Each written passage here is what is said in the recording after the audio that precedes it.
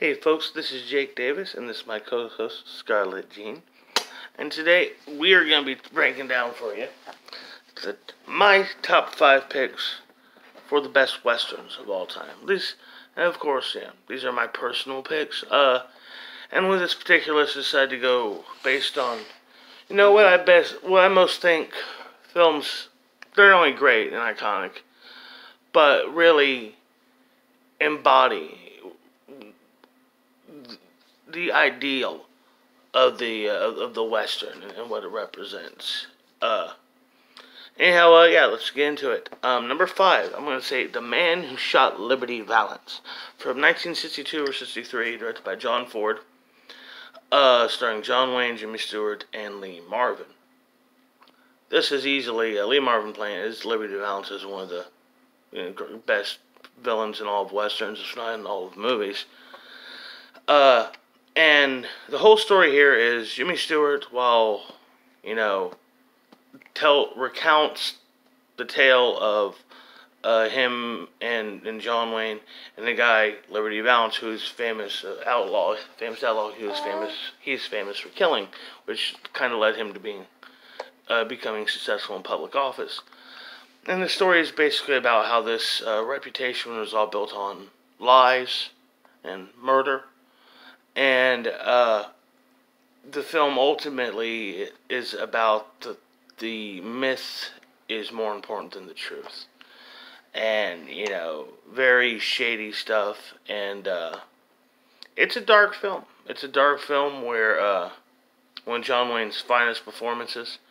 And I want to say something about it. You know, you, you get a lot of uh, people shitting on John Wayne always from Hollywood, mainly because of the man's politics. But you know what? That guy, uh, it's always pointed out in his films, you know, the characters standing up for, for immigrants and Native Americans and black people. You know, that, that there's a lot of that shit intentionally in John Wayne's films. So, you know, so, you know, he may have voted Republican, but didn't mean he didn't he didn't hold fucking. I mean, he fucking was American, as American as it gets. He stood for American values, and one big American value is treating people equally. Uh, anyhow, the side rant there. Uh, but yeah, it's uh, I believe it had Oscar winning, Oscar winning, I think, at least nominated. Costume design from Edith Head, and you know, like I said, Marvin's great, and maybe my favorite Jimmy Stewart performance of all time. And it was, I, it was kind of the film that really turned me around on uh, when I was a little kid, on not just westerns, but you know, black and white films. Uh, it's just a film that had a major, major effect on me as a young man, a young boy. Number four, I'm going to say The Outlaw Josey Wales, which I'm actually watching right now on, on my TV. Uh, the, uh, I mean, the whole story of The Outlaw Josey Wales, 1976, written, uh, directed, and starring Clint Eastwood. This was, I think, Clint Eastwood's first Western he directed. I might be wrong about that. But the whole storyline is Josey Wales is a farmer who's uh, during the Civil War, whose family is brutally murdered by uh, Jayhawkers.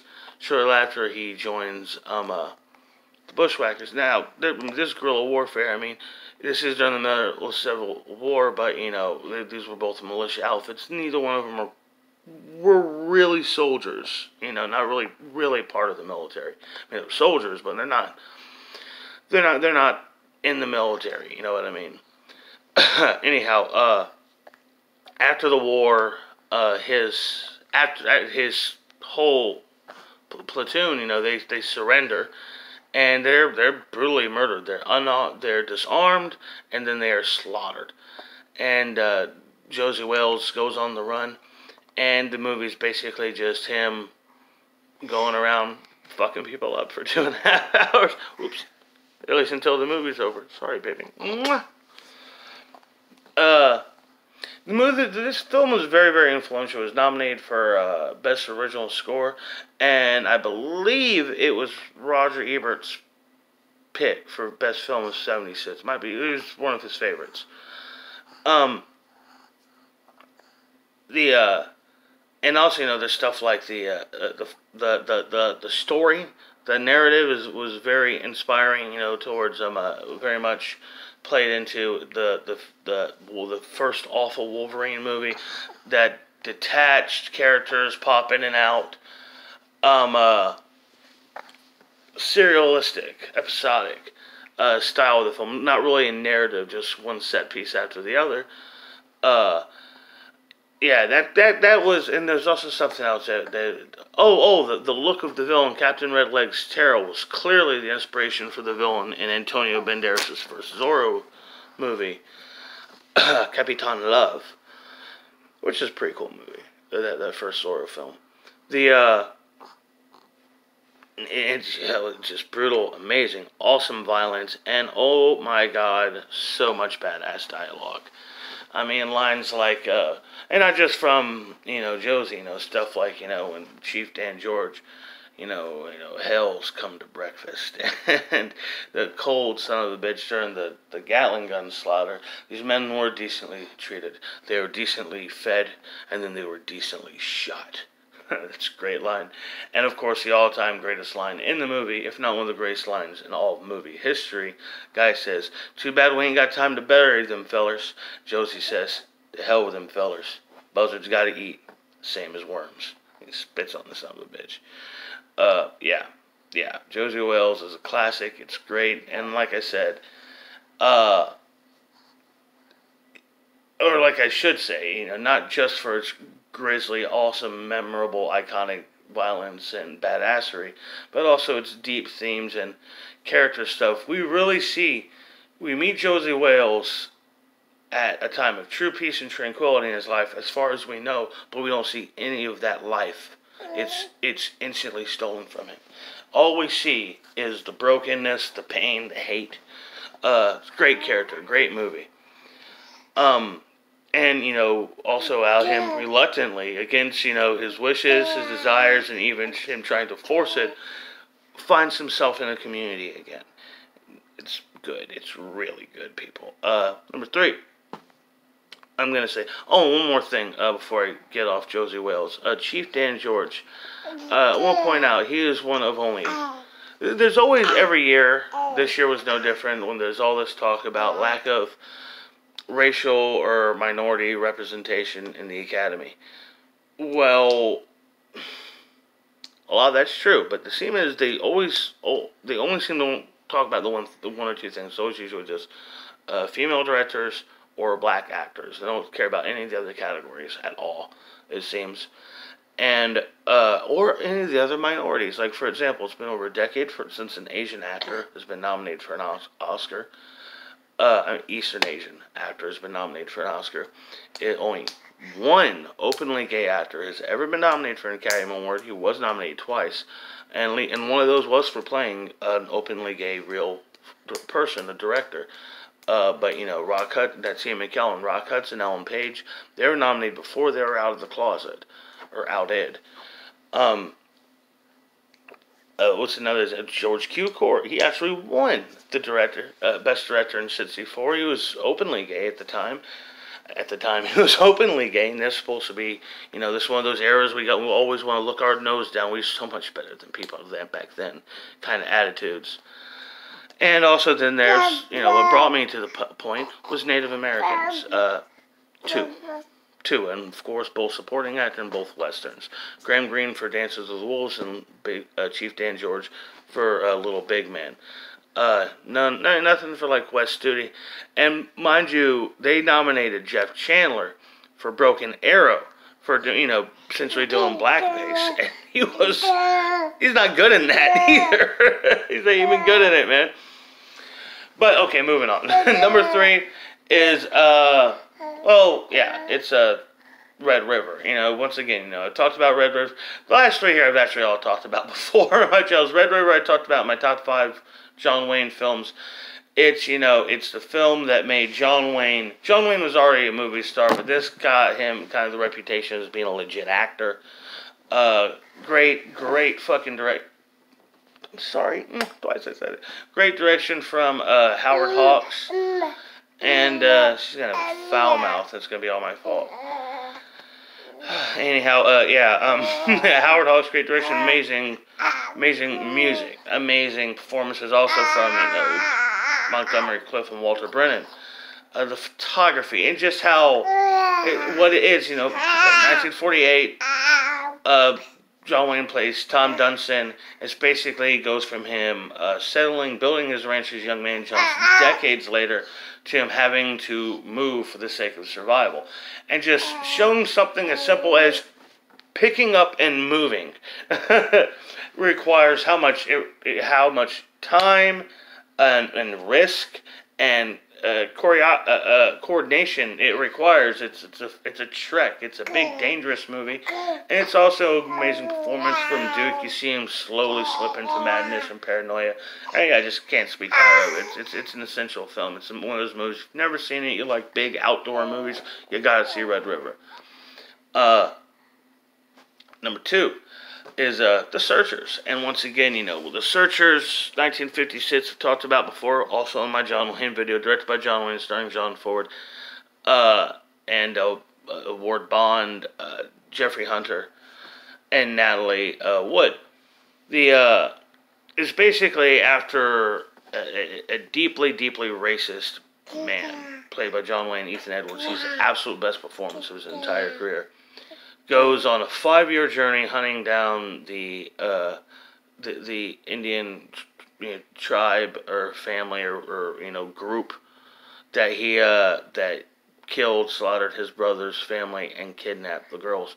Now where his uh, nephew, who is uh, you know half Indian, is along with him. He's like the adopted son of his brothers. Uh, he he wants to save his sisters. You know, that's why he's going on this big adventure. But clearly, John John Wayne's character is nothing but madness and hate and and, and murder in his heart. And it's a great character study. It is one of the prettiest films you'll ever see, and I'm actually thinking about maybe doing that list, doing my list of the most the most visually appealing films of all time. Uh, what exactly are they? Uh, there, there's a couple of them hit my head. You know, I'm, I'm talking about today, right now. Uh, and brings me number one. My personal all-time favorite western is Shane, because Shane's one of my all-time favorite movies. I talked about Shane in my all-time favorite movies. Talked about Shane in my all-time favorite heroes. Uh, this is like the third list Shane's topped. uh, yeah, you know Shane is a masterpiece. It's it's a flawless motion motion picture. Uh, 1953, uh, directed by George Stevens, starring Alan Ladd, Jean Arthur, Jack Palance, and Van Heflin. Uh, oh, and uh, Brandon DeWilde. The uh, the whole story of it is it's uh, a gunfighter, a, a man, a jaded man, trying to get past a life of violence. Comes to this this farm who's in the middle of a land war with this, you know, big, uh, aggressive, violent man who's apparently from New York. and uh, they bring in a gunfighter, and, and, you know, it's not an action movie. It's a film, it's a very, very patient film. There's only two action scenes open. There's a fist fight and a shootout, and they're both riveting. Uh, best fist fight in movie history one of the most one of the most intense shootouts is just I mean like it's I say shootout but you know walking into the room and the conversation is longer than you know once people start shooting bodies drop and it's over you know. Uh, amazing ending. Uh, there's no living with a killing. One of my favorite moments in all film history. Comeback Shane is one of the most famous moments in movie history. And it is in my opinion probably the most beautiful movie in history. The fact that you know there's no mat, there are matte shots, but so much of what you see is right there behind the cast and in front of the camera. Gorgeous, beautiful. No CGI format. No. Uh, I talked the the other day about how great 300 is. Great 300 is a painting come to life, but no. No digital backlot, no CGI can ever match seeing something as majestic as that. Uh, yeah, yeah, Shane is, uh, and you know, like I said, the themes and the greatness and the amazing score. It is, uh, it is my favorite, one of my favorite movies of all time. Probably my favorite movie of all time. Mwah! What are you after? Oh, it's over here. You want the bottle, or do you want the puppy? You want that puppy. uh, Of course, you know, th- let you hear some honorable mentions. Other great, great westerns or films like Unforgiven, uh, Rio Bravo, uh, and El Dorado. You know, just hey, no, you can say the Rio Lobo. I don't care about the Rio Lobo. Both True Grit films. I personally feel feel, feel the Coens Brothers film is a better movie, even though I love both films. The 3:10 to Yuma remake. Uh, uh, you know, honorable honorable mentions, uh, Blazing Saddles, and yeah, the good, the bad, and the ugly. You know, just good, the bad, the ugly doesn't really. I mean, it gets nudged out just because it's not American. I just think of westerns as such an American thing, even though there are great westerns that did not take place in America, nor were they made in America, such as you know, also like Quigley Down Under, awesome movie. Uh, and there's great westerns, prestige westerns I didn't mention. You know, movies like uh, uh, Hondo and uh, Dances with Wolves, Cimarron. Uh, what's what's the one? Um, oh, how, the West was won. You know, but you know, they're oh, High Noon. They, but these, you know, these weren't my favorites. You know what I mean? And you know, that's the thing. You know, the western has always been one of those genres that that is a it's a careful balance, just like the gangster movie. It's both it's both audience a crowd pleaser, popcorn fare, as as well as genuine prestige pictures at the same time. You know, all depends on you know what part of that balancing beam they they, they prefer to tip to.